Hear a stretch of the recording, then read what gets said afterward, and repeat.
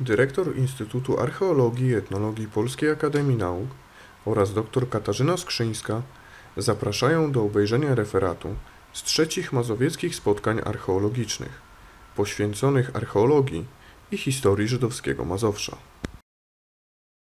A teraz y, zapraszamy pana Marka Piotrowskiego, y, który opowie nam o średniowiecznym cmentarzu żydowskim y, w Wyszogrodzie. Dobrze. Y, Dzień dobry Państwu. Właściwie to nie jest y, średniowieczny cmentarz, y, tylko cmentarz, który y, jest datowany na od XV do XIX wieku. XIX wiek to jest taka cenzura ostateczna, bo w 1831 roku po wielkiej zarazie w Wyszogrodzie stał on się już po prostu zbyt mały i założono wówczas drugi cmentarz poza granicami miasta. Bardzo proszę dalej. Niewiele wiedzieliśmy na temat tego cmentarza e, i ten wykład jest właściwie powtórzeniem e, mojej pracy magisterskiej, którą wykonałem w roku 1974, a więc bardzo dawno i w zupełnie innej rzeczywistości politycznej. I, in, i inny był zupełnie e, pogląd na oraz inna literatura. Po prostu nie było literatury na temat e, tego cmentarza. E, w momencie, kiedy poproszono mnie o wygłoszenie tego odczytu, postanowiłem odświeżyć pamięć i pojechać do Wyszogrodu, zobaczyć jak to w tej chwili obecnej się, y, jak to w tej chwili obecnej wygląda. I okazało się, że w Wyszogrodzie od 2012 roku istnieje y, Muzeum Wisły, y, które gromadzi część zbiorów wyszogrodzkich, bo z tymi zbiorami to jest bardzo dziwna i zawikłana historia. Otóż tam w tym Muzeum Wisły dostałem fotografię, które pokazują jedyne zdjęcia z tego właśnie y, cmentarza. Y, to jest zdjęcie z 9 września 1939 roku, gdzie Niemcy na właśnie tym cmentarzu okopali się i ostrzeliwali wycofujące się wojska polskie. Widać y, w tle macewy. Bardzo proszę, dalej. To jest drugie zdjęcie właśnie pokazujące położenie tego cmentarza na wysokim prawym brzegu Wisły. Bardzo proszę dalej. Okazuje się, w momencie, kiedy ja przystępowałem do badań, nie było oczywiście żadnych śladów na powierzchni e, tego cmentarza. Badania, od razu powiem, były ratownicze, albowiem w 1963 roku osunęła się cała wielka połać skarpy, E, na której właśnie znajdował się cmentarz, co, co w Wyszogrodzie nie jest rzeczą niespotykaną, albowiem e, już w XIX wieku zaczęły zapadać się olbrzymie na przykład składy i, i spichrza zbożowe, które e, zamykały część rynku. Jeszcze wrócimy do tamtej, jeśli będąc właśnie w Muzeum Wisły, okazało się, że udało się z tego cmentarza znaleźć jedną, jedną właśnie macewę. Natomiast te drugie pochodzą już yy, z cmentarza tego XIX-XX yy, wiecznego. W sumie są to jedyne zachowane fragmenty nagrobków. Prawdopodobnie część jest wykorzystana do y, wykonania chodników w mieście. No jak mógł wyglądać ten cmentarz? To jest, y, to jest zdjęcie cmentarza w Lesku, właśnie datowanego na XVI wiek. Y, gdyż ta część, o której będę mówił, jest także datowana na XVI wiek, więc żeby mieć jakiś pogląd, postanowiłem zamieścić to zdjęcie. Bardzo proszę dalej. To jest właśnie e, Wyszogród na mapie z 1816 roku. E, żółtą strzałką zaznaczony jest ten taki obły kształt tutaj. To jest właśnie, A jest.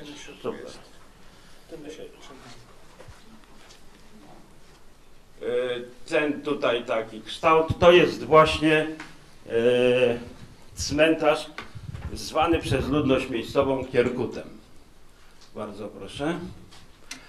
Obec, na obecnej y, mapie byłoby to miejsce, cmentarz żydowski. Tutaj znajduje się tak zwana Góra Zamkowa, y, na której były prowadzone nie tak dawno ponowne badania archeologiczne. Bardzo proszę. Y, Wyszogród jeszcze charakteryzował się bardzo przepiękną synagogą, jedną z największych chyba i naj, najpiękniejszych na Mazowszu, którą Niemcy rozebrali i zasypali fragmentami tej synagogi jeden z głównych parowów przecinających miasto. Miasto e, przecina jeden duży parów i dwa mniejsze, które ograniczają go od zachodu i wschodu. Bardzo proszę. Tak wyglądało mm, w początkach XX wieku, tak wyglądała ta synagoga. To jest widok od strony Wisły, od strony miasta właściwie. A to jest Góra Zamkowa w 1960 roku. W tej chwili, w tej chwili ta część już jest zupełnie inaczej wygląda. E,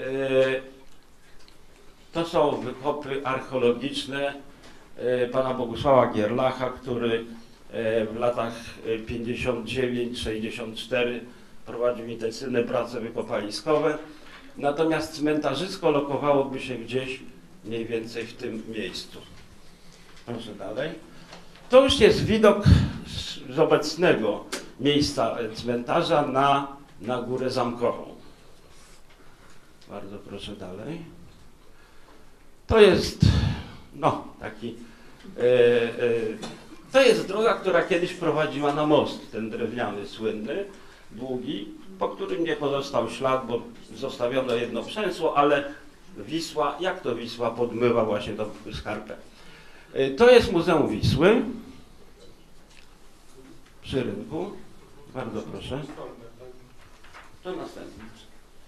Następny folder. O właśnie. No i teraz przechodzimy do, do y, całej historii związanej z badaniami archeologicznymi. Otóż jak w 1963 roku obsunęła się skarpa, przekopano tą część obsuniętą i fragmenty, i fragmenty, y, i fragmenty zagrożone największym, największym mm, niebezpieczeństwem zniszczenia. E, Kiedy jako student przyjechałem w 1971 roku e, do Wyszogrodu, jakimś dziwnym trafem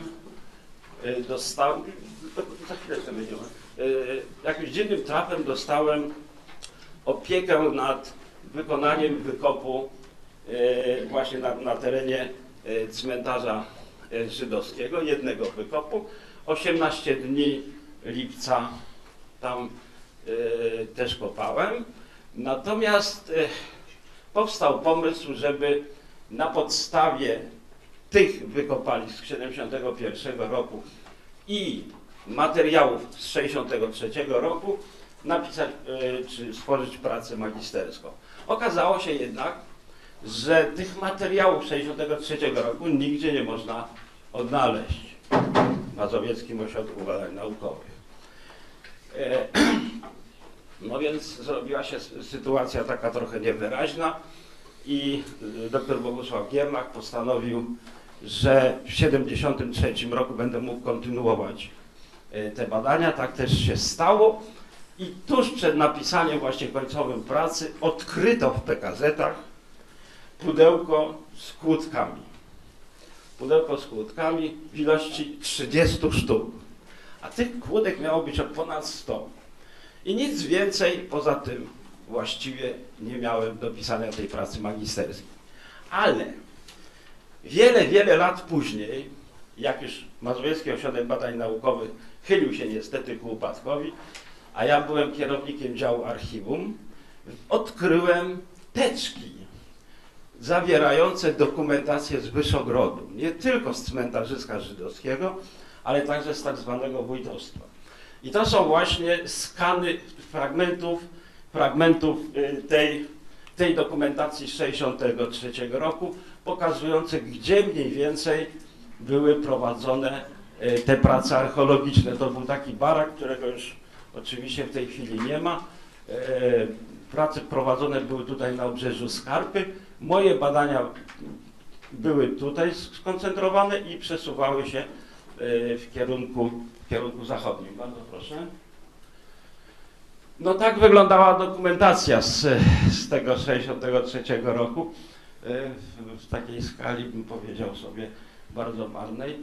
Y, Także no i tak nie można byłoby wiele y, zrekonstruować tych e, przynależności kłódek do e, danych e, grobów, chociaż są wyraźnie zaznaczone charakterystyczne obstawy drewniane, które na tym e, cmentarzysku występowały. Bardzo proszę. Jest tu kilka fragmentów właśnie takich e, tej dokumentacji postanowiłem Państwu zeskanować, tego jest znacznie więcej. E, Są e, z północy na południe regularne, regularne rzędy grobów. E, No i ułożenie oczywiście e, pochówków po linii WS głową skierowaną na zachód. Bardzo proszę dalej. I tak może. Aha, i to, to są właśnie te niebieskie takie znaczki, to są kłódki wszelkiego rodzaju i wszelkiego e, i różnych kształtów, które właśnie na tym cmentarzysku występowały. Bardzo proszę dalej. To jest fragment obsuniętej skarpy, więc te badania były właściwie takie e, no, naprawdę ratownicze. E, Trzy miesiące trwały, przez dwa miesiące e, e, to była tamta poprzednia dokumentacja, w ostatnim miesiącu, e, jeśli można jeszcze wrócić, już taka bardziej ludzka dokumentacja, bardziej szczegółowa z ostatniego miesiąca, ale też tego niewiele jest. W sumie bardzo proszę.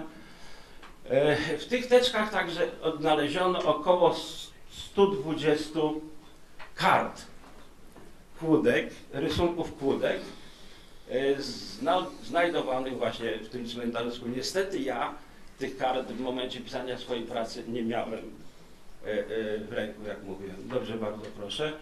Takie były kształty tych kłódek i takie jest zachowanie obecne w tej chwili, bo to na cienkim papierze, który już trochę zetlał. Był także e, dziennik badań, bardzo proszę. E, I w tym dzienniku e, ciekawe zapisy są, dlatego e, postarałem się go skserować. Jest na przykład, występuje kabłączek skroniowy. E, Później na następnej stronie e, skoble, noże, wiór krzemienny, nożyce do strzyżenia owiec, więc okazuje się, co zresztą Bogusław Gierlach pisał w swoich, y, no, co prawda skrótowych opracowaniach, że to cmentarzysko leżało na, y, na osadzie XII-XIII wiecznej, tak mniej więcej. I zresztą w trakcie moich badań też wychodziły fragmenty ceramiki XIII-wiecznej, nawet jeden fragment takiego naczynia z cylindryczną szyjką XII-wiecznego. Bardzo proszę. A to już zbliżamy się do czasów nam bliższych, czyli 71-73 rok. To są te badania, w których ja uczestniczyłem. To jest odcinek z 71 roku i następnie kolejne odcinki 73 roku. Tu jest y, teren fabryki przetworów owocowych, która wtedy funkcjonowała. Później Państwo zobaczą, w jakim stanie to obecnie się znajduje. Ech, To są rysunki moje i, i kolegi Zdzisława Skroka, który e, wtedy w tych badaniach uczestniczył. E, No w skali trochę większej, bo to jest dziesiątka, także można już odczytać pewne szczegóły. Przebiegniemy przez to kurzgalopkiem takim, żeby Państwo się zorientowali, jak to mniej więcej wyglądało w terenie.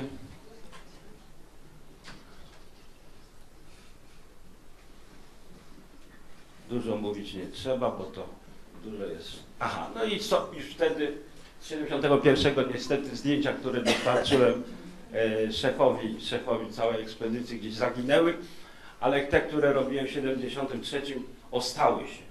Także e, w moim archiwum Także e, to, co tutaj wskazuje strzałkami, to są oczywiście płótki leżące przy czaszkach. E, Natomiast e, to jest ceramika z jam gro- grobowych. Dalej proszę następne. E, To są oczywiście fragmenty ceramiki w oczodołach. Nie we wszystkich oczywiście e, tych e, oczodołach była ta ceramika. Tu jest fragment talerza, łódka trójkątna duża, no i ceramika w oczodołach. Bardzo proszę, tu jest też kłódka.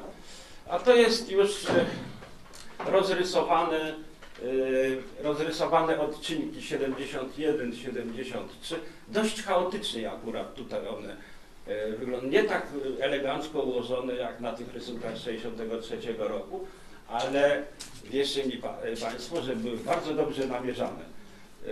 No i tutaj są dwa odcinki.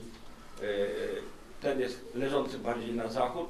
Tu też widać trochę położeń, ale jest pewien niepokój w tych założeniach e, e, grobowych. No i to już jest, e, to już są e, łódki, które mm, e, wykonywała świetna rysowniczka pani Barbara, Barbara Stolarska, później Barbara Piotrowska do tejże pracy magisterskiej. Także e, bardzo proszę dalej. To jest tylko przykład. Oczywiście jest ceramika, już się spieszę, rozumiem. E, są kłódki w dalszym ciągu. Przejedziemy przez to, bo to jeszcze 63 rok. A nie, to już następny poproszę. Tak. Następny poproszę. A to jest to, co się zachowało w Muzeum Wisły. Okazuje już nie będę Państwu mówił, jakie były perypetie z tym materiałem.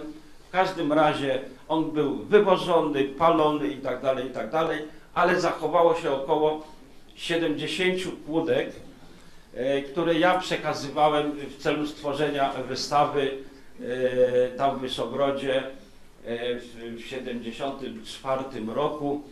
E, Wystawa, niech Pan biegnie z tymi kłódkami. E, Wystawa w Izbie Pamięci, później ta Izba Pamięci upadła, e, później te materiały leżały na strychu.